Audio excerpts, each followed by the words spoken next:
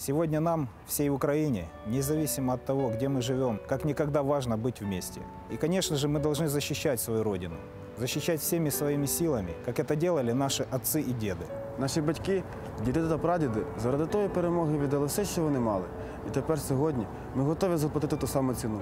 Сегодня, в день 9 мая, желаю, чтобы наши дети и внуки, чтобы они никогда не переживали тех ужасов войны, которые пережили мы, фронтовики. Я видел своими глазами, что такое гражданское противостояние. Это страшно. Я не могу поверить в то, что такое может случиться в Украине. И я, как военный, как офицер, я сделаю все, чтобы это в Украине не произошло. Служу українському народу.